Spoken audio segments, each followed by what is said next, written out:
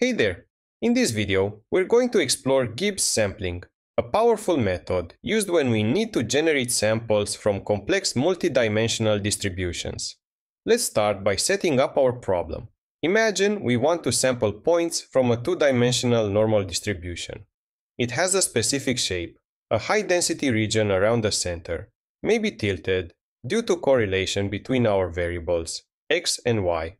Now, typically sampling directly from this joint distribution, getting an x and y together at the same time can be mathematically difficult or computationally expensive. We might know the equation for the density, but turning that into random samples isn't straightforward.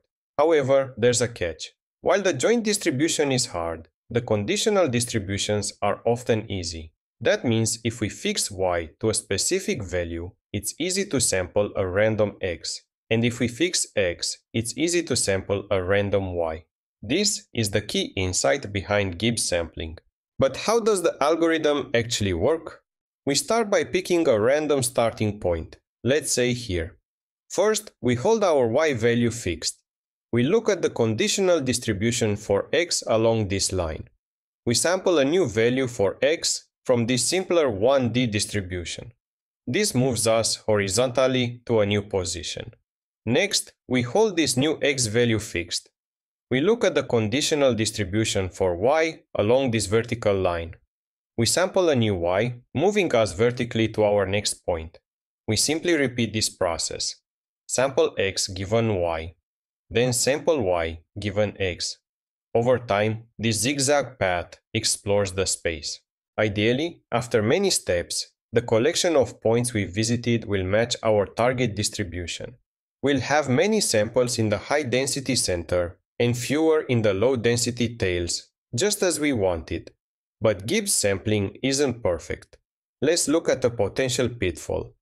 Imagine a distribution with two disconnected high probability regions, like one at 0, 0 and another at 1, 1, with zero probability everywhere else. If we start at 0, 0, we can only move along the x or y axis. But since the probability everywhere else is zero, we're stuck.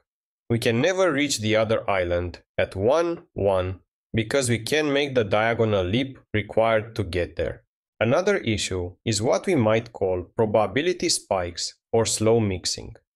If our distribution has two regions separated by a very low probability valley, our sampler might get stuck in one region for a long time. It will eventually cross over, but it might take millions of steps to do so, making the algorithm inefficient. To summarize, Gibbs sampling allows us to sample from complex multivariate distributions by iteratively sampling from simpler conditional distributions. It's a fundamental tool in statistics and machine learning, provided we're careful about convergence and connectivity. And that basically wraps up this video. Thank you so much for watching.